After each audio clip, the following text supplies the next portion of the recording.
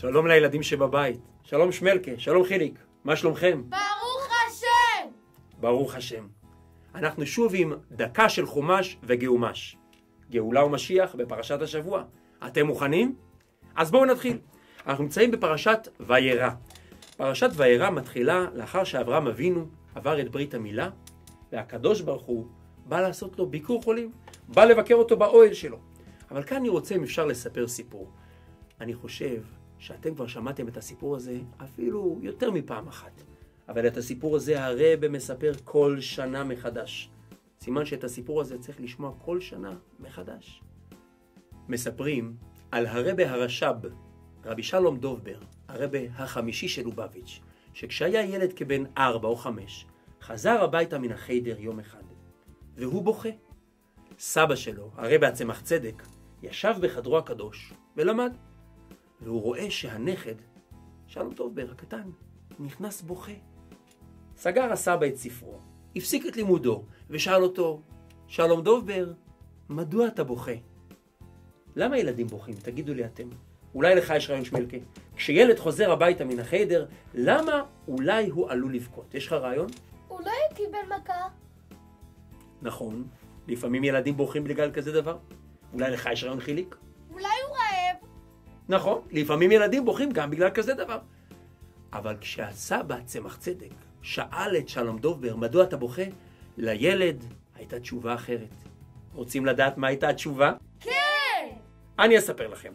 סבא, הוא אמר, למדנו היום בחיידר שבפרשת וירא כתוב, וירא אליו השם באלוני ממרא. מסביר על זה רש"י, בא הקדוש ברוך הוא לבקר את החולה. מה הכוונה? בא הקדוש ברוך הוא ושאל בשלומו. אתם מבינים מה קרה שם? אברהם אבינו יושב בפתח האוהל, והקדוש ברוך הוא בא לבקר אותו.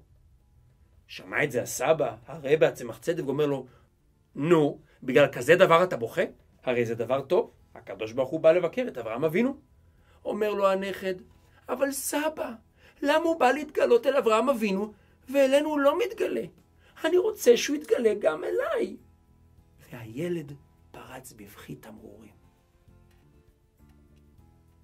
שמע את זה הסבא, הרבה הצמח צדק, וענה לו, כאשר יהודי, זקן בן 99, צדיק, מוכן למול את עצמו, ראוי הוא שיתגלה אליו הקדוש ברוך הוא. אתם מבינים? אומר הסבא הצמח צדק, כשיהודי, אפילו אם הגיע לדרגה שהוא כבר צדיק, דרגה של 99, כמעט מושלם, כמעט 100, ועדיין הוא רוצה למול את עצמו, להתחבר לקדוש ברוך הוא עוד, להסיר את מה שמונע ממנו ומסתיר ממנו, אז מגיע לו שהקדוש ברוך הוא יתגלה אליו. נו, והילד, שלום דובבר, ילד בן ארבע או חמש, המשיך לבכות לדעתכם? לא! אתם צודקים, הוא מיד הפסיק לבכות. הוא הבין את זה. את הסיפור הזה, ילדים, אנחנו שומעים כל שנה ושנה. מדוע? כי זה מסר בשבילי ובשבילכם, ואפילו בשביל שניכם. צריכים לשאוף להיות כמו שלום דובר, להשתוקק שיתגלה אלינו הקדוש ברוך הוא. ומתי זה יקרה? מתי? בעזרת השם תכף מיד ממש. בגאולה האמיתית והשלי מה? משיח נאו. משיח!